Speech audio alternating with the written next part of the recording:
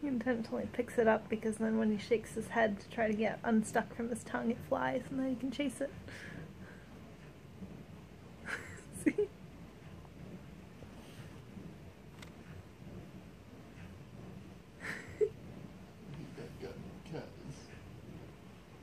Desperately bored.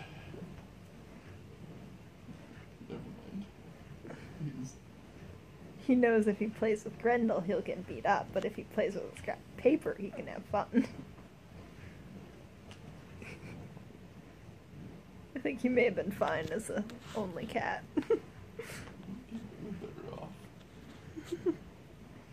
I'm not saying that he's worse off, but I think he would have gotten on fine playing with himself.